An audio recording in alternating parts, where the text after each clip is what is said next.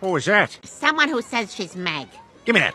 Okay, Meg, if this is you, what's your birthday? March 23rd.